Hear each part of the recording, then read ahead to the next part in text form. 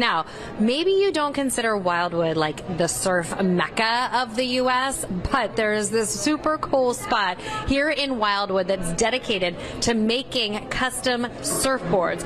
It's called Kona Board House, and our Nikki Dementri goes inside and takes a look.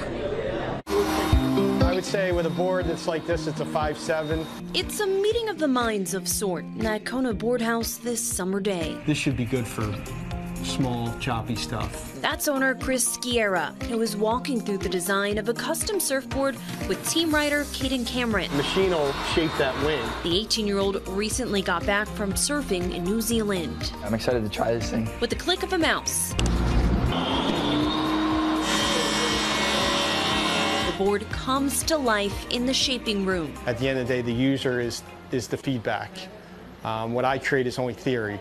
We're hoping the user feels that same thing. For more than 50 years, Kona has called Wildwood home.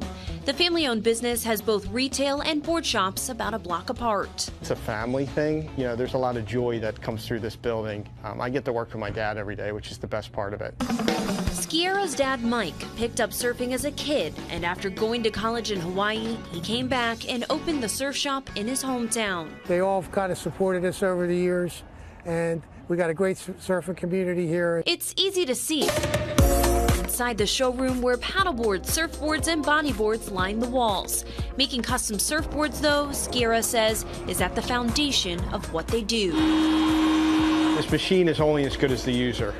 So if we build great files and we plug it into this, you know, the boards are going to be great. Every year, Kona designs, cuts, and shapes upwards of 200 customizable surfboards. With a little bit of science, analytics, and a whole lot of teamwork, you get this. She is. Full 2.0. We'll ride this board in three weeks. Three weeks. Yeah. To steal the words from Cameron, he's stoked. Yeah, that looks really good. It's memories like this Chris, Mike, and the team want to continue for years to come. This is the joy.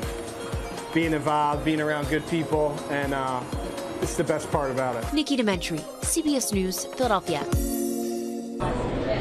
All right, so cool, Nikki. Thank you so much for that story. What an awesome spot.